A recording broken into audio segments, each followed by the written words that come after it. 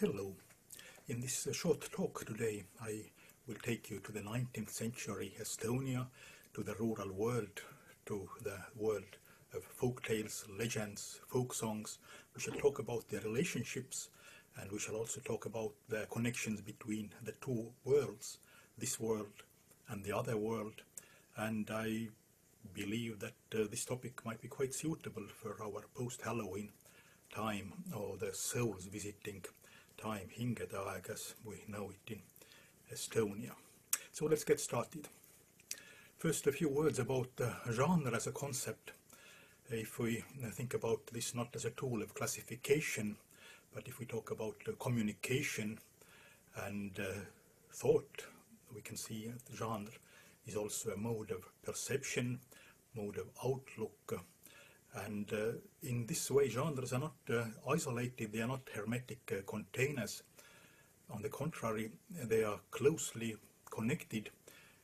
If uh, we don't name them, they are unidentified, then they blend in and the genre boundaries are quite uh, uncertain. There is a lot of ambiguity, how to read them, how to understand them questions if we talk about humorous modality or serious modality, if we talk about the belief, uh, fiction or entertainment, uh, these are often open questions. Deborah Kapchan and Pauline Turner Strong have, have written that genres, like utterances, are permeable and unruly, and they defy uniformity of uh, response. Anyhow, genres are good tools to, to think with, and I think uh, it provides us a, good guide to, to walk through this quite unruly folklore of 19th century in Estonia and we shall use uh, the category of belief narrative as a category that uh, breaks uh, the limits of existing genre systems. It brings together some genres uh, that uh, we usually think of as being distinct like legends, myths, uh, oral histories, conspiracy theories, personal memories, etc. And uh, if we talk about uh, belief, it refers to epistemology, to, to knowledge, to truth claims, what we know, what we don't know, certainties, uncertainties. As many other concepts in the humanities, belief uh, has also been critically examined and it has been deconstructed. Rodney Needham in 1972 uh, published this book, Belief, Language and Experience, where he, he showed that um, belief is not a very useful analytic category to be applied transculturally. It's not a distinct mode of consciousness. It's very difficult to pinpoint the belief. That's something that we, we know from, from folklore. And recently, also in folklore studies, there have been claims that uh, we should uh, give up the, the concept of, of belief uh, as it is not relevant to, to folklore. I'm referring to the work of Benjamin Gatling, a recent publication in the Journal of American Folklore, where he argued for, for this. it was a well argued um, paper. I agree with him that uh, we need to think about believing uh, action belief as a process. And however, we should not give up the concept of belief. Uh, they, they go together. Marilyn Motz has written in 1998 that the concept of belief is so central to the discipline that it, hard, it is hard to talk about folklore without talking about uh, belief. And belief as a concept uh, is also widely used in the study of religion today. I think the study of religion and, and folkloristics are quite uh, close uh, disciplines, especially if we study belief narratives. So Graham Harvey, who has uh, written a wonderful monograph on religion in everyday life, uh, has written about belief and believing as an enactment of belief, belief as as uh, action, belief as as practice. So we can also talk about disbelieving in, in folklore because belief and, and disbelief uh, go together, as we as we know.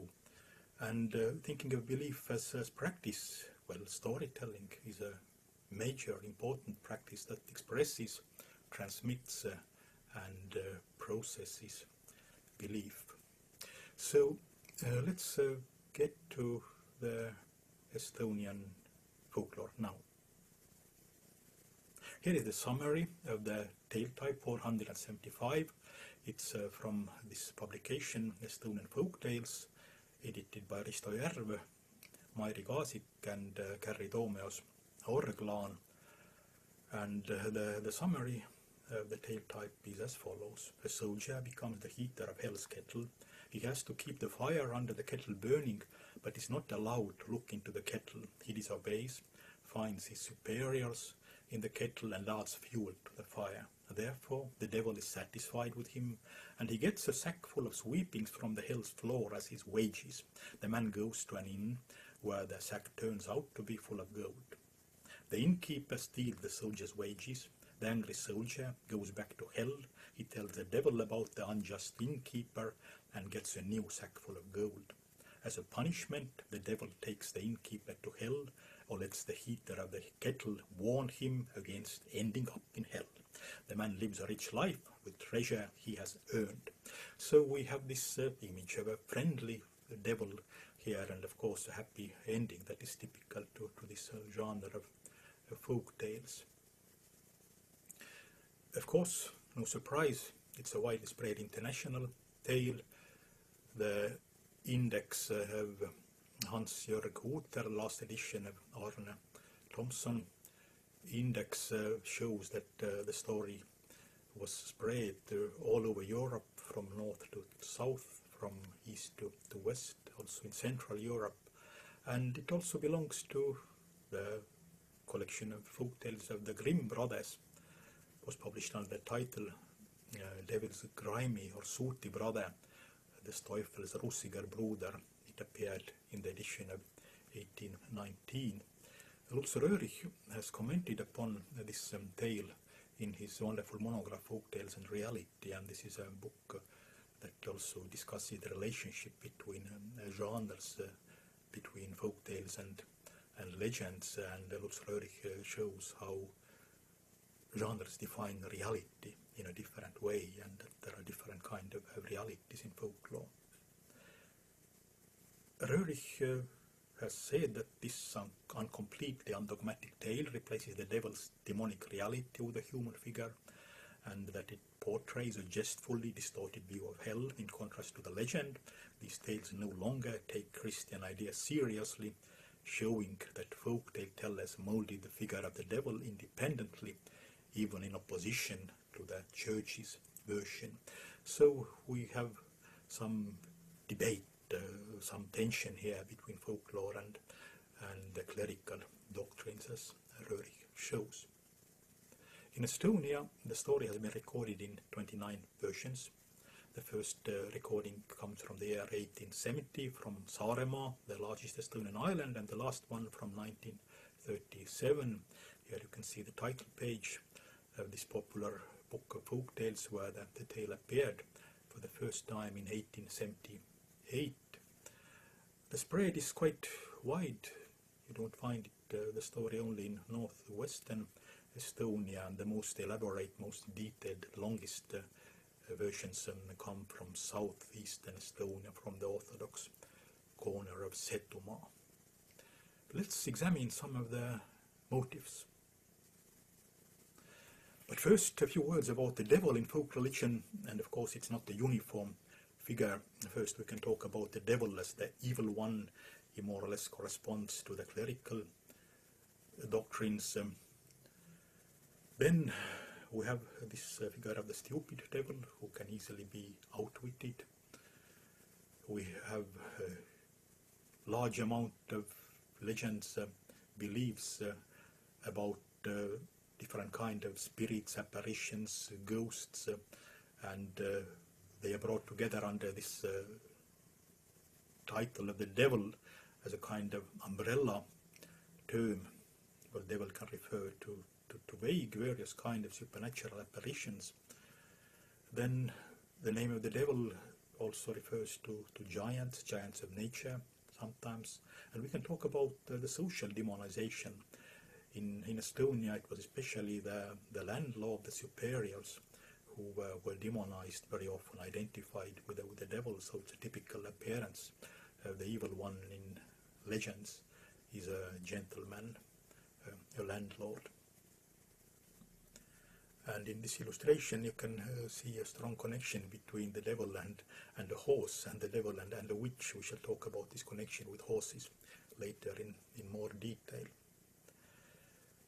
We, we need to think about the figure of the devil in legends in order to, to discuss, to, to make sense of this folk tale. And we can see that the, the, the legends and, and folk tales are related through inversion. Some motives appear differently in them. We find a kind devil in this folk tale, differently from the legends where he usually is dangerous. The contract that is made between the man and the devil remains valid. They don't uh, break it. The contract holds. Uh, then there are no sanctions followed by this uh, being in the service of the devil, differently from the witch trials, for example. So the man is rewarded. And we see the magical transformation sweepings are turned into gold. In legends, often it's the other way around. That if the devil gives money, then turns into something worthless, worthless like, like ashes or, or rotten tree leaves. Who is the main hero in this uh, story? Most often he's a soldier, an old soldier, like uh, in the Tale of the Grimm publication he can also be a poor man, a servant, a poor tailor. In one story, exceptionally, he's a merchant. The typical beginnings are like uh, those. There was a man named Hans serving the, the German landlords who were extremely cruel to him. Or once there lived an extremely poor man who had a great desire to become rich. Or during the age of serfdom, one serf could not withstand heavy beating he went to forest to hide himself. So this encounter, meeting the devil in the forest, is very common. Forest is a somewhat um, dangerous place in Estonian uh, folklore. Usually adventures start there. It's opposed to, to the home circle. And uh, this also happens in, in this uh, folk tale. Everything starts from, from meeting the devil in the forest. The devil appears as an old man, often with a grey hair and beard, as a little old man, grey man, black man, landlord, a great gentleman, surherra. And uh, in this uh, talk, I would like to illustrate this association between the, the, the devil and hell and uh, the, the manor and landlord on the other hand, uh, so I brought some photos illustrating the, illustrating the, the, the world of uh, Estonian manors. Exceptionally, the devil also appears as a black dog in this folk tale. Well, in, in legends, in beliefs, uh, this appearance is quite common, not in this folk tale. Or there are two devils in action, two men in grey suits. The pact, the agreement, is oral. Then the couple man and uh, the devil walk uh, to, to hell, walk through the, the forest. It's a long walk, but in a couple of stories, the hell is underground, so they have to to jump into a well or into a lake, and this takes them to, to hell most often, and that's uh, really in all stories. The hell is associated with, with manor. It is depicted as, as a manor, as a nice castle, as a beautiful house, as a living house. Sometimes uh, the house is also depicted uh, black or, or dirty, the Estonian word must is uh, semantically open. It refers to, to both. it can be an iron house. The everyday life in, in hell is quite uh, happy for, for the man. The man has good food, he drinks beer, eats meat and then cakes. But sometimes the food is also simple. He eats uh, lentil soup, uh, fried uh, frogs, drinks Turkish pepper, vodka.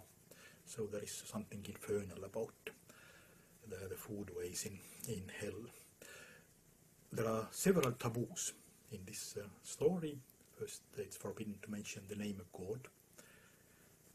Not in all versions but in some it is said, and it is typical to early modern med early modern demonological treatises and Estonian folk belief uh, that uh, you can ward off the, the devil. The devil loses its, uh, its power when you mention God or make the sign of the cross. It's also forbidden to wash oneself, to, to cut hair and, and fingernails. In the story of the, the Grimm's folk tales, it's forbidden to lift the lid of the kettle, to look into the kettle. The man has to keep the, the kettle burning, but he cannot uh, look inside. Anyhow, he breaks the interdiction, typical to folk tales, of course, and then he sees who's in the pot. If uh, the man is a soldier, then he usually he sees a general, a colonel, a sergeant, or the words refer to the Russian military service, like like polkovnik. And if the man is just a farmhand, a poor man, then he sees his landlord, bailiff, overseer, these uh, people, officials, in the manor whom he has hated so much. Um, and just a typical sentence there was his own landlord together with his family boiling in the pot. Let's take one example. The soldier stayed for the second year of service. He kept thinking, who knows what is there in the pot, and lifted the lid. He saw Udeva Schilling, Norra Knorring, and Albu Douglas in the pot. Also the former bailiff and overseer who were in the pot. He added firewood under the pot as much as there was space there. The pot started to shake, men in the pot started to whimper. The soldier was happy. You devils, now I can take revenge on you for my father. In a moment, the grey man, the devil, came there and said, There must be no bullying. Put only one log into the fire. So we have this uh, just devil here, but what is more remarkable, it's the identification of the, the landlords. These are real people, people whom the storytellers knew from everyday life who are uh, depicted in in in hell and it's also remarkable you see uh, the soldier appears here however the persons in the in the pot are not uh, his military superiors. They are the, the landlords. So uh, this uh, social contrast this conflict was was so strong that the nobility is, is coming into this these stories in the in the versions where you would not expect that they are they are there.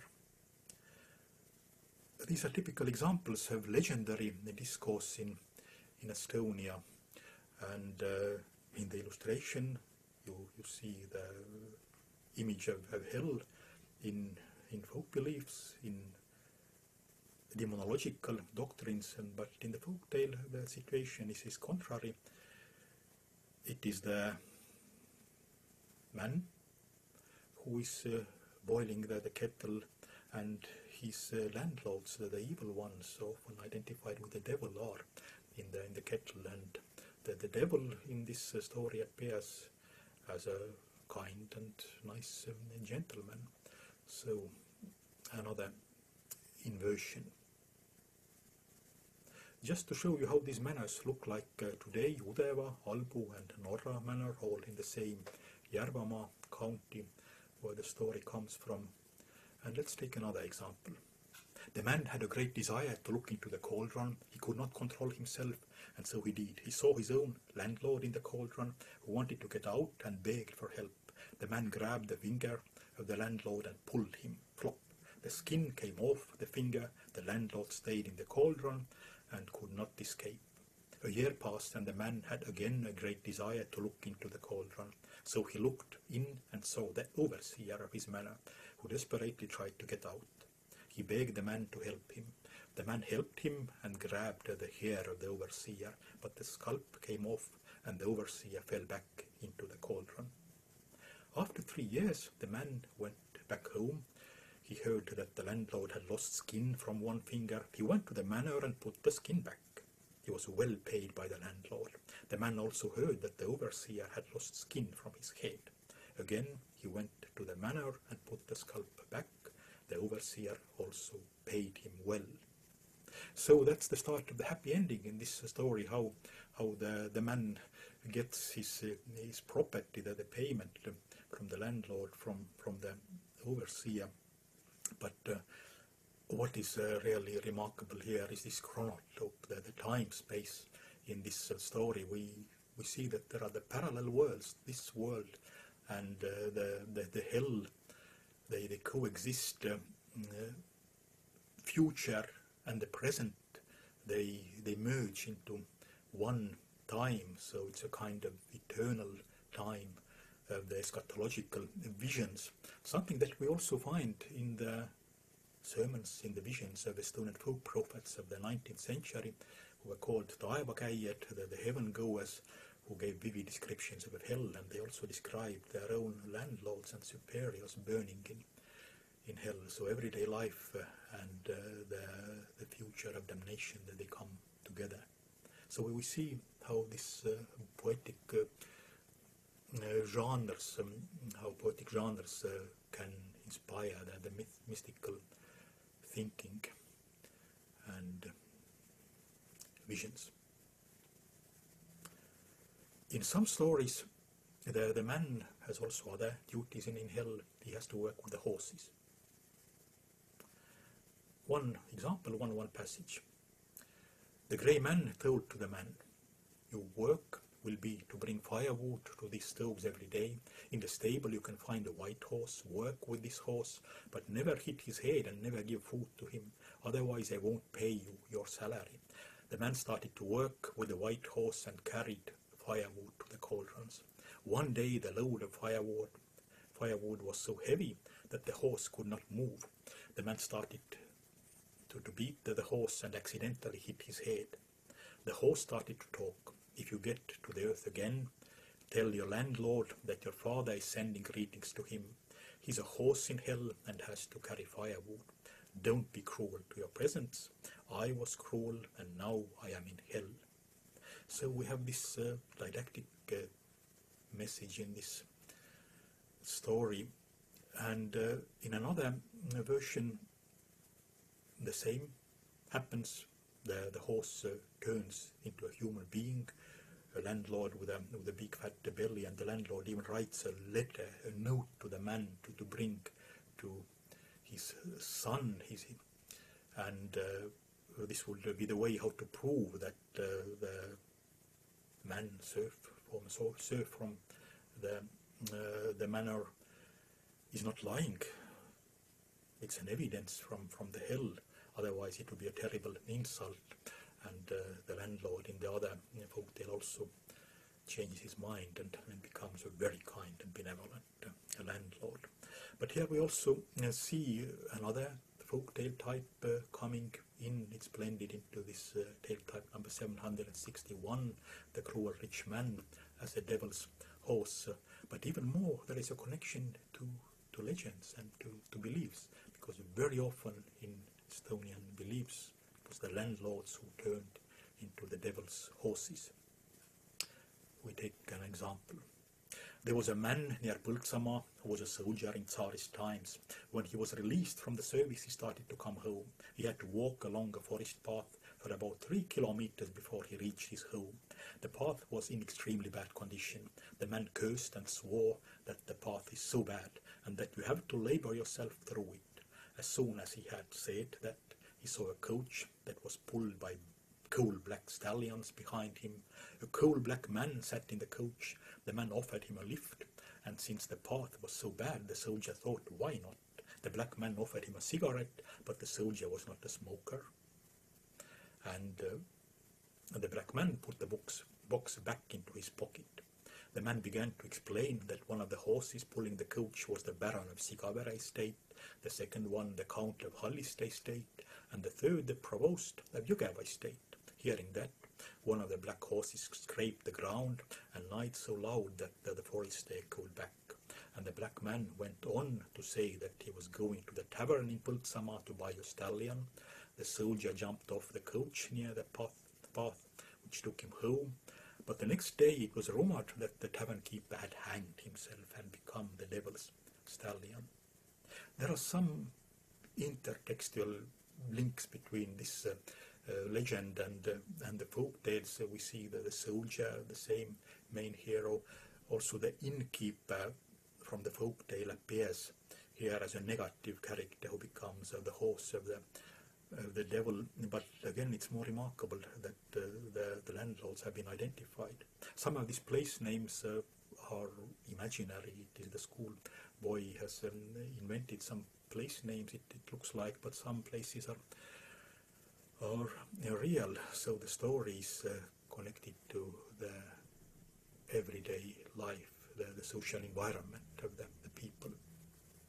There is another Estonian legend type about uh, the, the devil's horses, as the devil comes to the smithy and asks the, the blacksmith to shoe his horse, and then the blacksmith uh, sees that the legs of horses, their, their feet are actually human feet, so it is a scary scene, and, and often also in the stories, the, uh, the horse, uh, the devil is identified as a, as a former landlord from the neighborhood.